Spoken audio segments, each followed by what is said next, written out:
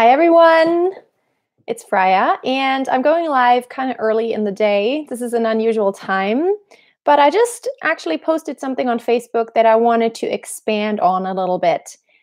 I know that all of you want to become better and you use YouTube videos and tutorials and maybe online courses and a lot of resources online that maybe you may find through Google or someone you know in order to find better exercises and to address areas in your voice that you want to improve on. So um, that is all great. And I think it really speaks for you that even if you're here live now and if you're watching this, you know, it speaks for you that you are interested in bettering yourself, in learning, in improving, and in actually taking action because of course you can't just sit there and wish something. It's not going to happen unless you take action. And in singing it is so crucial to not just take any action but just to do the right thing because i have seen it to where if you just do something that is actually not what you need to do it can be counterproductive and it can actually make it worse. You may have experienced this yourself that you may do an exercise but if you do not execute correctly, it could actually reverse, have the reverse effect and make your voice worse and make your technique worse because you don't have anyone to guide you to actually give you feedback on your execution and if you're doing everything correctly and what to improve on. The first thing is, of course, you can't see yourself from the outside and you can't hear yourself from the outside. You could record yourself, which is very valuable. But the other thing is, you may not exactly have the ear for that or no, because you want to, of course, learn from someone who is already much better than you are, who is an expert in what you want to become an expert in, who is great at what you want to become great at. So, in order to do that, it is good to watch videos of I mean, like I have a channel and there's lots of really great videos out there of, you know, that vocal coaches put out there who have a lot of experience, who are performers, who have tons of experience even teaching. And so that is a great thing. However, you still don't get any personal feedback. And I've just seen it many times that I give an exercise and then I see how someone does it and it's done totally wrong. And it is so important that you get feedback. Even if you don't have time to maybe give feedback, get feedback every single time you practice or every week for a lesson, it is important that you actually check up on your technique and on the way you execute things in order to actually move forward. And that's what I mean by taking the right action it's not enough just to practice the same thing day in, day out, and just keep repeating and repeating and repeating the same things. It's really about being more intentional. For example, if you want to expand your range and you want to sing higher, it's not enough just to sing the same pitch every single day and just to hammer away on it. You want to be more intentional. You want to incorporate the basics and ask yourself in singing that high pitch that I'm trying to achieve in increasing my range on the top, do I have a breathy tone? Could it be, oops, I'm sorry. Whoopsie. sorry. Do I have a breathy tone? Is that due to a lack of overall tension, due to a lack of support, due to a lack of vocal cord closure? Is there something I can do first to address that issue to where I do not become so breathy? To where then I can sustain a higher tone more easily without hurting myself and without getting tired. Um, am I even do I have good posture so I can even take a nice and deep breath? Am I even giving myself time to breathe?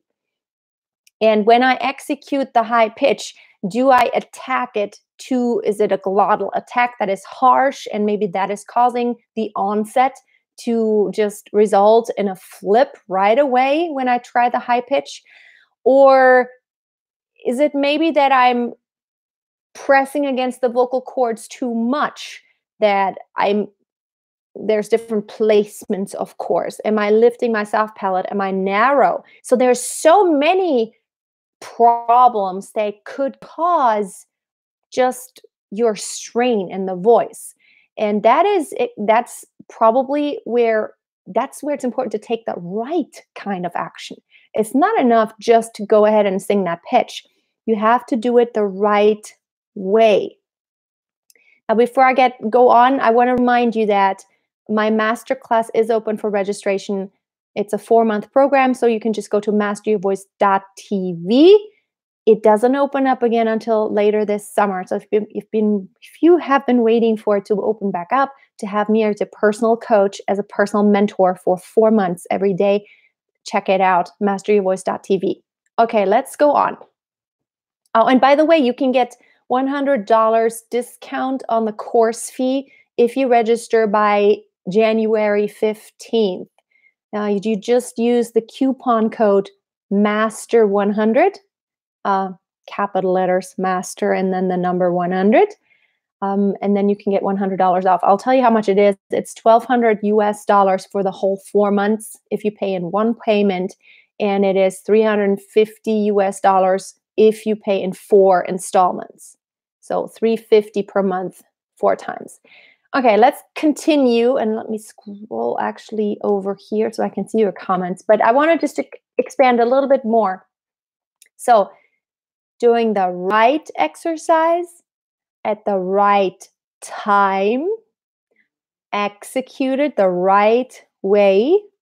And actually, I think singing the right kind of repertoire in the right key. So that's what I mean by taking the right kind of action, the right action. It doesn't really help only to just continue, continue to do the same, the same, the same, the same, and just sing the song again and again and again. It's gonna help you to get better, but it's not really gonna move the needle fast enough. And if you want to go faster, you just need someone to check up on you and to have some personal feedback. That's just my opinion. I've just seen it way too many times to where someone actually made it worse instead of better because they didn't have any clear instruction and they don't didn't have any feedback on if they're executing correctly. And also, you may not know where your voice needs to go. You may not have that overall picture, that vision, uh, or that knowledge of, okay, this is the path, this is kind of the longer term path that needs to happen in order for you to become stronger and expand your range and just have a lot more versatility and agility in your voice you may not know that because you don't have that experience like i have experience of many years of teaching and i've seen so many students so i have a lot of experience where like i've seen all scenarios happening and i know what it can lead to and i know how to get to a certain result um, because of course i always experiment a lot. I just love experimenting with my voice. Um, my book is coming out soon in the next two weeks. I'm still working on the audiobook version. I want them to i want them all to come out at the same time but i'm writing a lot in my book about my story and about my experience and how i always loved to experiment with the sounds i could make with my voice even as a kid. I I'm just like a voice nerd and i want you to become a voice nerd to really experiment and just to try out everything you can do in your voice. But i said without any feedback and instruction it can be dangerous. Um, i don't know it's almost like personal training if you wanted to lift weights and do bodybuilding if you've never done it and you know nothing about it you have to be careful because if you do it wrong you could actually injure yourself and then it's like a negative effect right? You don't want that to happen. So um and meeting the right people. I think being around people who motivate you um, if you are in a group or something of singers i don't know if you're in a choir that is great or even a facebook group i have a facebook group master your voice um, being in a group to surround yourself with the right people who help you to stay motivated, who help you to stay inspired, who help you to just have a reality check every once in a while and to also see others and just to kind of so you can compare yourself and see where you're at.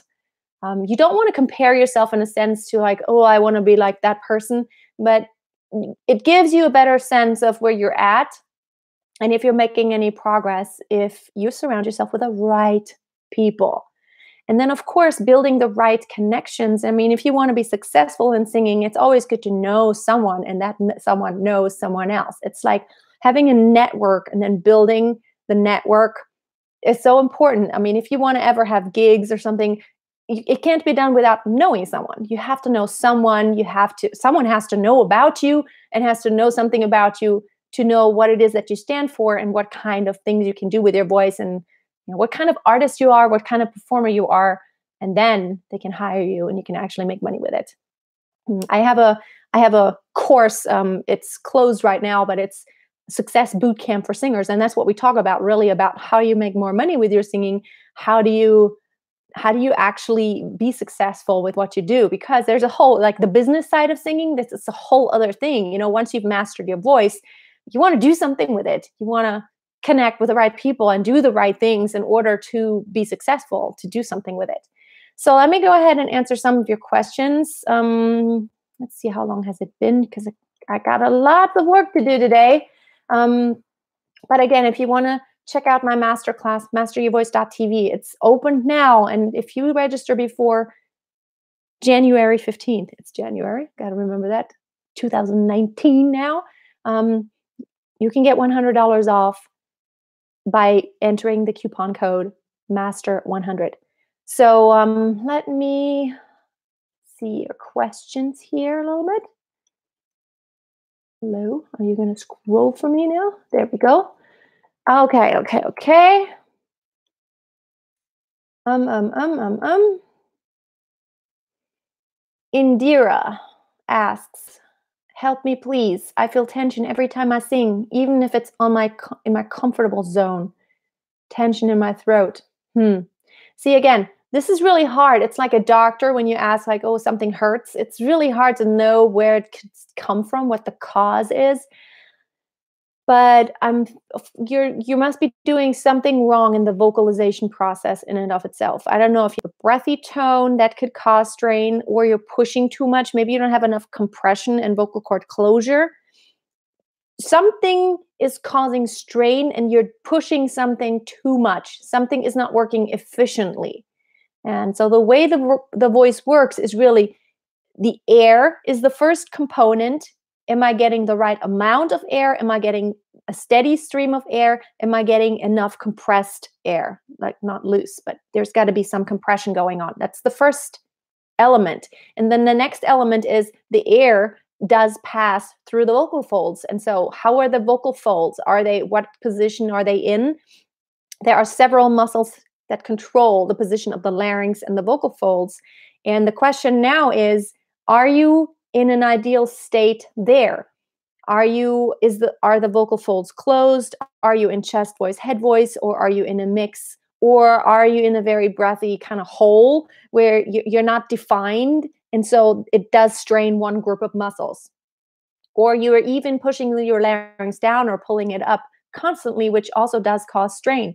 And then the next element, of course, is resonance by opening up a lot of space, like your mouth, your throat, so that the sound waves can move into your head and all those little crevices and nooks and just ampl- be amplified. You have to open up. And sometimes we compensate because resonance is bad and it sounds just very, it's closed up. We push more, um, pushing more air through the vocal folds because we want a bigger sound. And so you compensate. So I could probably like talk about this for a long time, but those are the elements, and you got to look at some of those where what level is you know is that is the problem starting? Where is it starting? Okay. Um um um. Vicky Da says hi Freya, i love your video. Thank you. I am little but a little bit confused that in which voice color should i sing the song in well, it really does depend on the song. I think, first of all, of course, you want to find a natural voice. Like right now, I'm talking in my natural voice. Right now, I'm not talking in my natural voice. I'm altering the placement, and it sounds a little bit strange. And it's also going to cause strain if I do this for a long time. Now I'm back in my normal voice. This is my natural placed voice.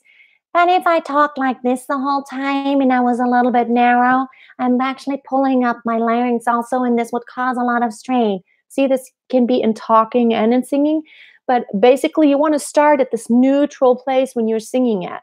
Um, you want to start in a very neutral place, and it depends on the song. If you're singing a very soft and tender song, you want to have a little bit of breathiness because, of course, not when you're singing very high, but it's like, I am singing so tenderly, and I am not having tight vocal cord closure but I'm still going for a nice open resonant tone. On the other hand, if I wanted to sing something very intense and like, I don't know, you hurt me so and now I hate you. You hurt me so and now I hate you. Different voice color.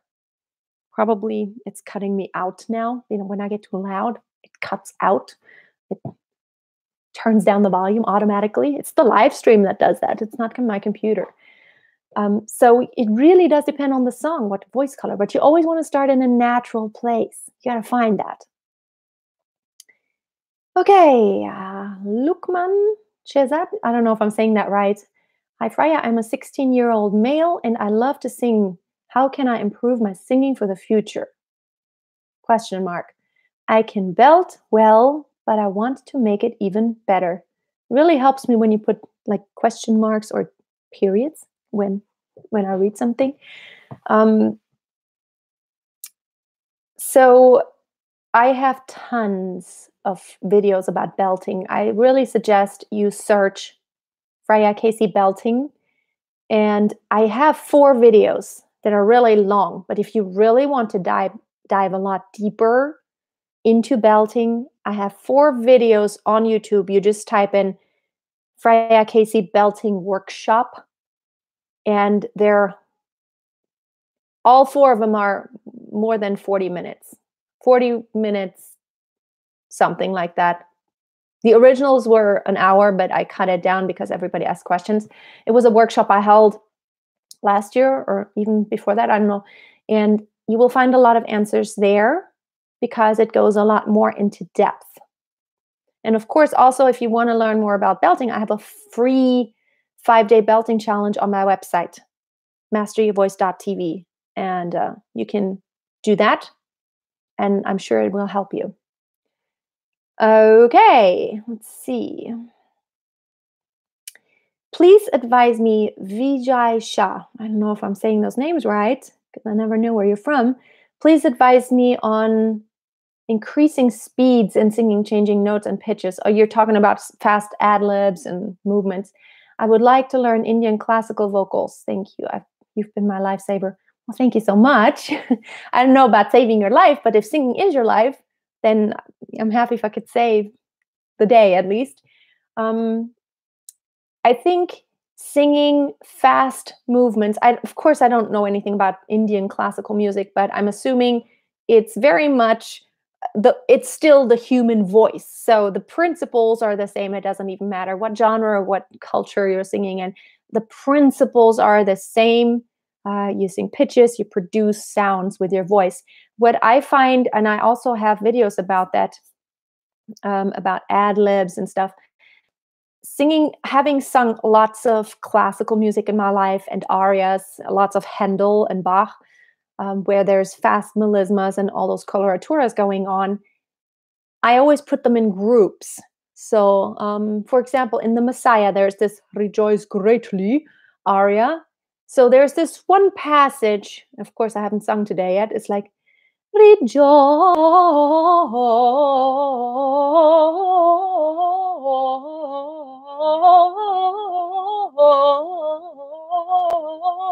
greatly I'm too low. Um, but it goes much faster. It's like rejoice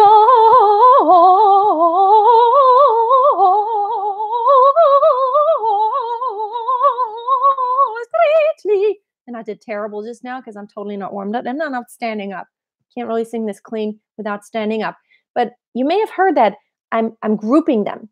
I'm making accents and then lightening up. Dum dum da da da da da dum da da da da da dum da da da da da dum. So that's how it goes. And if you go, yeah, you want to always put them in groups. yeah, stuff like that is so you must do it that way and you have to do it slow at first and then speed it up. But even when you do it slow, you want to know where my anchor points. You need those anchor points to help you. Otherwise, it'll be yeah. So it'll just slurring all over. So I hope that helps. How can I limit my strong subglottal pressure? Well, you, you do want you want a lot of subglottal pressure when you sing high. That subglottal pressure is the air pressure that happens before, like below your vocal cords, like before the air hits the vocal folds. Um, if you sing high, you, you want lots of compression going on there. What you do not want is the pressure on your glottis, which are your vocal cords.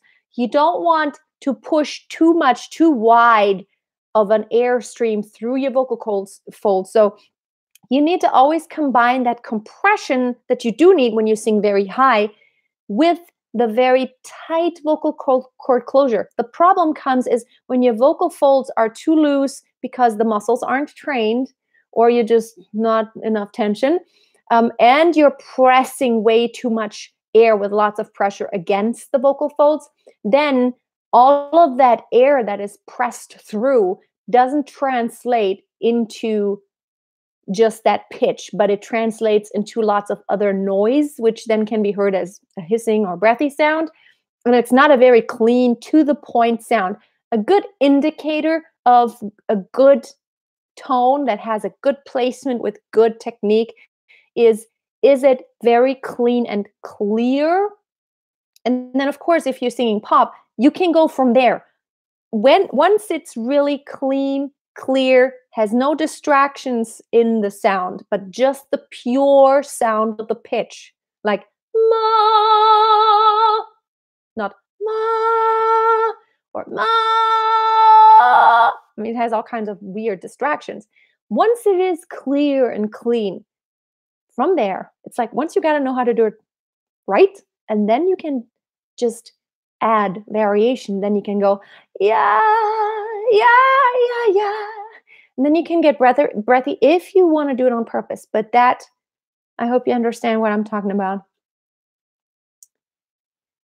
Okay, um, I got to get off here really because I have appointments and I got to get off. Thank you, everyone, so much. I can't answer every question today, um, but I'll be on again probably sometime this week, and I don't know when because it's always very impromptu.